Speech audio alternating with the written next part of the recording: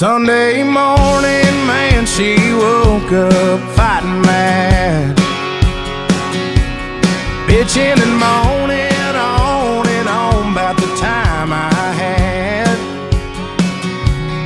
And by Tuesday, you could say that girl was good as gone.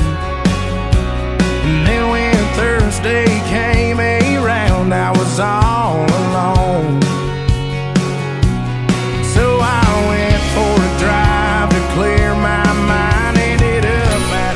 I get 20 on pump seven and uh, one of those number nines?